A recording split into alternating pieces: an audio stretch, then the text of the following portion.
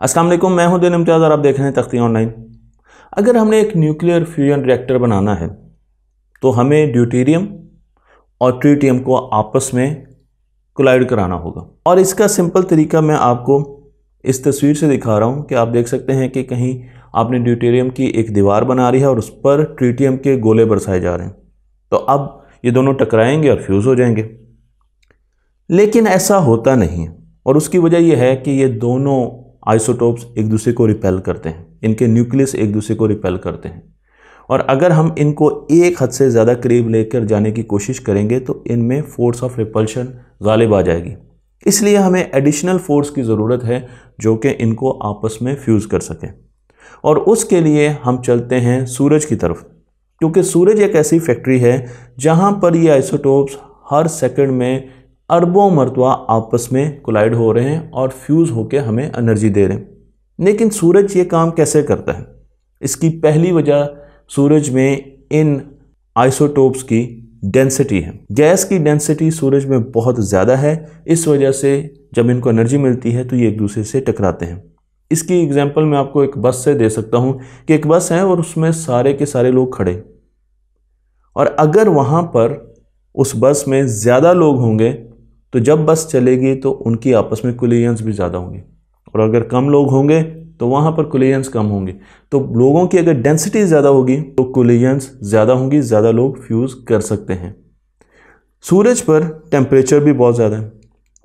तो अब हम एग्ज़ाम्पल लेते हैं कि बस जा रही है और बस में लोग आहिस्ता आहिस्ता हिल रहे हैं।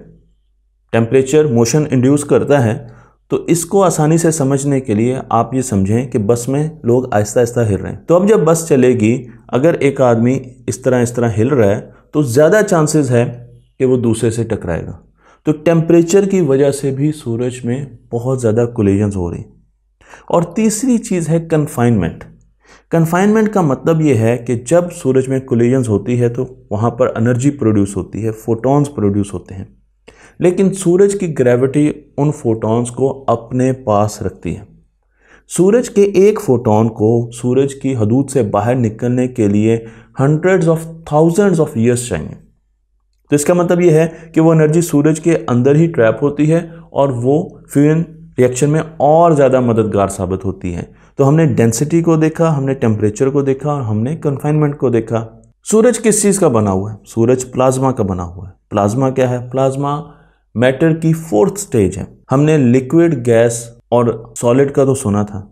लेकिन अब फोर्थ स्टेज प्लाज्मा है, जिस पर मैं बहुत सी वीडियो बना चुका हूँ कि अगर आप एक एटम को बहुत ज़्यादा एनर्जी प्रोवाइड करें तो उसके इलेक्ट्रॉन्स उससे स्केप कर जाते हैं।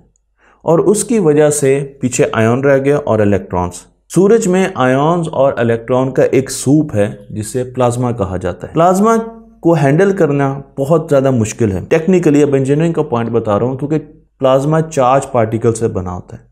इसलिए इसकी इलेक्ट्रिक और मैग्नेटिक सेंसिटिविटी बहुत ज़्यादा है। अगर प्लाज्मा का एक ग्लोब देखें, जो मैं आपको यहाँ पर दिखा रहा हूँ, क्योंकि प्लाज्मा हमारे खून में भी है प्लाज्मा हमारी कायनात का नब्बे फ़ीसद हिस्सा बनाता है प्लाज्मा चमकती हुई बिजली में भी है तो इस ग्लोब को देखें, जो प्लाज्मा का बना हुआ है मैं अगर हाथ भी अपने पास लेके जाता हूँ तो यहाँ पर प्लाज्मा की ओरिएंटेशन चेंज होना शुरू हो जाती है। इतना सेंसिटिव है। तो हमने प्लाज्मा को बनाना है एक टोकामैक में, एक रिएक्टर में। लेकिन वो बहुत ज़्यादा सेंसिटिव है इलेक्ट्रिकल और मैग्नेटिक सेंसिटिविटीज़ को। तो ये चीज़ हमने जहन में रखनी है। जब वो इतना ज़्यादा सेंसिटिव है तो अब उसे ट्रैप कैसे करना है? क्योंकि जब हमने एक न्यूक्लियर रिएक्टर बनाना है तो उसमें प्लाज्मा को ट्रैप करना है। सूरज में सूरज का टेम्परेचर 15 मिलियन डिग्री सेंटीग्रेड होता है। लेकिन जो ज़मीन पर हम सूरज बनाएँगे, उसका टेम्परेचर सत्तर मिलियन डिग्री सेंटीग्रेड चाइना ने इस वक्त अचीव कर लिया है, लेकिन हमने डेढ़ सौ, एक सौ पचास मिलियन डिग्री सेंटीग्रेड तक जाना है। लेकिन उसके साथ साथ हमें कन्फाइनमेंट भी करनी होगी इस प्लाज्मा की। तीन तरीके प्लाज्मा की कन्फाइनमेंट के लिए इस्तेमाल होते हैं। सूरज में ग्रेविटी प्लाज्मा को कन्फाइन करती है एक जगह पर, उसको इधर उधर नहीं जाने देती। जबकि न्यूक्लियर फ्यूजन रिएक्टर में दो किस्म की चीज़ें अपनाई जा रही हैं। पहली है इनर्शियल, मैस इनर्शियल कन्फाइनमेंट, जिस पर मैं अगली वीडियो, जो अगली वीडियो सीरीज़ की आ रही है, वो टोटल इनर्शियल कन्फाइनमेंट पर बनाई जाएगी। और आज जिस वीडियो में हम डिस्कस करने जा रहे हैं, वो मैग्नेटिक कन्फाइनमेंट है कि हम मैग्नेटिक फील्ड्स के ज़रिए, क्योंकि प्लाज्मा सेंसिटिव है इलेक्ट्रिक और मैग्नेटिक फ़ील्ड को तो हम मैग्नेटिक फ़ील्ड के ज़रिए प्लाज्मा को एक न्यूक्लियर फ्यूजन रिएक्टर में ट्रैप करेंगे, उसको डोनेट की शक्ल देंगे। टोकामैक बहुत सी शक्लों में आता है, सफेरिकल शक्ल में भी आता है, डोनेट की शक्ल में भी आता है तो मैं यहाँ पर आपको इसकी मुख्तलिफ़ शक्लें आप देख सकते हैं। जब हम फ्यूल को गर्म करते हैं टोकामैक में, ताकि प्लाज्मा को बना सकें, और वो फ्यूल है ड्यूटेरियम और ट्रीटियम तो उसकी डेंसिटी बहुत कम होती है। सूरज में उसकी डेंसिटी बहुत ज़्यादा होती है, बहुत ज़्यादा गैसेस कंप्रेस हुई होती हैं डेंसिटी बहुत ज़्यादा होती है। लेकिन टोकामैक में ये मसला आता है कि उसकी डेंसिटी कम है। अब उसकी डेंसिटी कैसे अचीव की जाए? क्योंकि हमें तो इस फ्यूल की डेंसिटी इतनी चाहिए कि यहाँ पर फ्यूजन के रिएक्शन हो सकें। मैं आपको एग्जांपल दोबारा देता हूँ बस की, कि अगर बस स्लो चल रही है और लोग दूर दूर खड़े हैं तो उनमें कुलियाँ नहीं हो पा रही। अब या तो हम लोग ज़्यादा कर दें लेकिन लोग हम ज़्यादा कर नहीं सकते। तो हम लोगों को कहें कि वो मूव करें। अगर वो बहुत तेज़ी से मूव करेंगे या बस एक ऐसे रास्ते पर जाती है जहाँ पर बहुत झटके लग रहे हैं तो अब क्या होगा? उनकी कुलियाँ ज़्यादा होना शुरू हो जाएँगी। इसी तरीके से हम टोका मैक में टेम्परेचर ज़्यादा करेंगे। हम 10 गुना ज़्यादा टेम्परेचर करेंगे सूरज से ताकि जो एटम्स हैं या आयोन्स हैं, वो बहुत तेज़ी से मूव करें। और जब उनका मोशन ज़्यादा होगा तो वहाँ पर कुलेयन भी ज़्यादा होगी। तो यही वजह है कि हम जितने भी न्यूक्लियर फ्यूजन रिएक्टर बना रहे हैं, वो सूरज के टेम्परेचर से 10 गुना ज़्यादा पर ऑपरेट करते हैं। मैं अब आपको लेके चलता हूँ, चाइना को तो हमने डिस्कस कर लिया था। मैं आपको लेके चलता हूँ फ्रांस में, जहाँ पर एक बहुत बड़ा प्रोजेक्ट लगाया जा रहा है, जो कि 2025 में काम करना शुरू करेगा। इसे आईटर प्रोजेक्ट कहते हैं international thermonuclear experiment reactor ITER और इसका मकसद ये है कि इसने दुनिया को दुनिया की जितनी भी इलेक्ट्रिसिटी की ज़रूरियात है एनर्जी की ज़रूरियात है, वो न्यूक्लियर फ्यूजन रिएक्टर के ज़रिए देना है।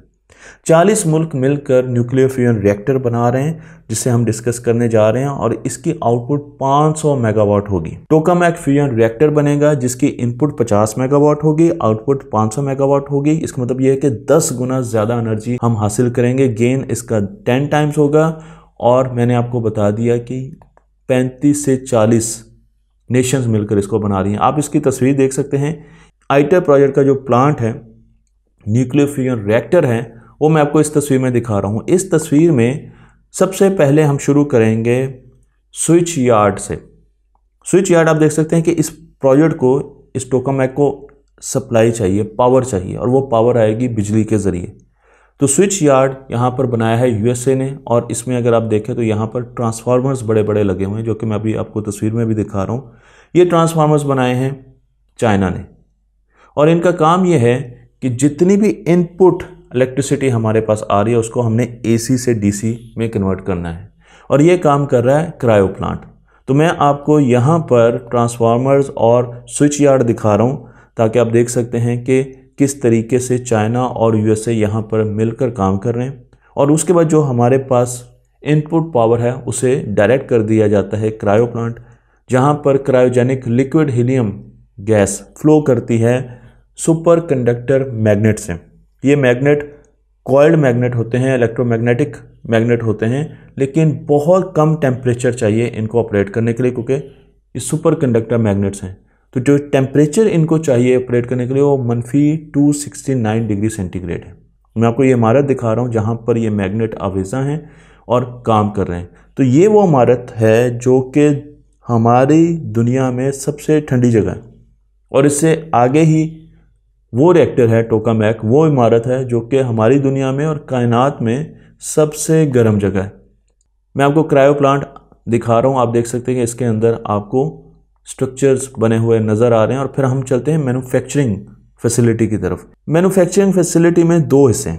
पहला हिस्सा है प्लॉइडल फ़ील्ड कॉयल्स को जो बनाया जाता है। तो हम खुद मैन्युफैक्चर कर रहे हैं। मैंने आपको बताया था पिछली वीडियो में कि हम प्लॉइडल मैग्नेट्स का इस्तेमाल करते हैं प्लॉइडल फील्ड्स बनाने के लिए ताकि हम प्लाज्मा को डोनेट की शक्ल में रख सकें। वो उससे बाहर ना निकल सके। और दूसरी मैग्नेटिक फ़ील्ड थी टोराइडल मैग्नेटिक फ़ील्ड तो यहाँ पर पी एफ़ कॉयल्स बनाई जाती हैं जो कि प्लॉइडल फ़ील्ड प्रोड्यूस करती हैं। और इसी तरीके से फिर अगर हम आगे जाएँ तो यहाँ पर हमारे पास क्रायोस्टेट वर्कशॉप है, जो कि इंडिया ने बनाई है।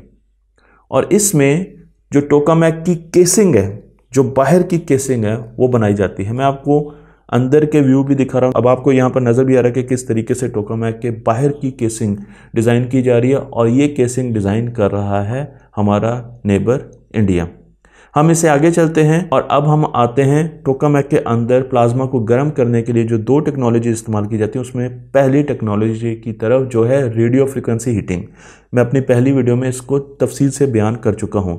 तो रेडियो फ्रिक्वेंसी हीटिंग के लिए ये इमारत यूज़ की जाती है, जहाँ पर रेडियो वेव्स प्रोड्यूस की जाती हैं, जो कि आगे जाकर प्लाज्मा को हीटअप करते हैं। और दूसरा तरीका क्या है? दूसरा तरीका है neutral beam injection neutral beam injector Italy बना रहा है, इस वक्त भी ये बन रहा है, क्योंकि इसने 2025 से पहले पहले ऑपरेशनल होना है, और मैं आपको यहाँ पर दिखा रहा हूँ तो यहाँ से आपके पास न्यूट्रल बीम्स जाती हैं, और वो जाकर प्लाज्मा को गर्म करती हैं।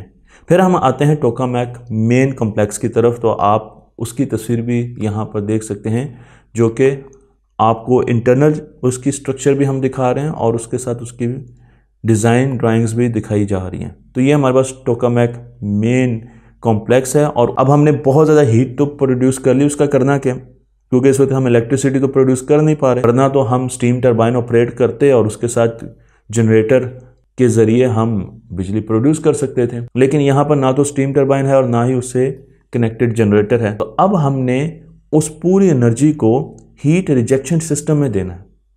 यहाँ पर हमारे पास मौजूद हैं बहुत बड़े बड़े हीट एक्सचेंजर्स जो कि पानी के साथ कूल डाउन किए जाते हैं, ठंडे पानी के साथ कूलिंग टावर भी यहाँ पर लगे हुए हैं। और जितनी भी हीट एनर्जी हम प्रोड्यूस करते हैं या करेंगे इस प्लांट से, उसको फ़िलहाल यूज़फुल एनर्जी में हम इस्तेमाल नहीं कर सकेंगे, ढाल नहीं सकेंगे। और आखिर में मैं आपको यहाँ का कंट्रोल सिस्टम और कंट्रोल रूम दिखाना चाहता हूँ। मेन कंट्रोल रूम है जहाँ पर लोग बैठे हैं और सेंसर्स के ज़रिए वो सारी की सारी इन्फॉर्मेशन इस प्लांट से हासिल कर रहे हैं। कंट्रोल सिस्टम और एमरजेंसी शटडाउन सिस्टम इसको ऑपरेट कर रहे हैं और साथ साथ इसको मॉनिटर कर रहे हैं कि किसी किस्म का अगर कोई प्रॉब्लम आए तो इस प्लांट को फ़ौर बंद कर दिया जाए।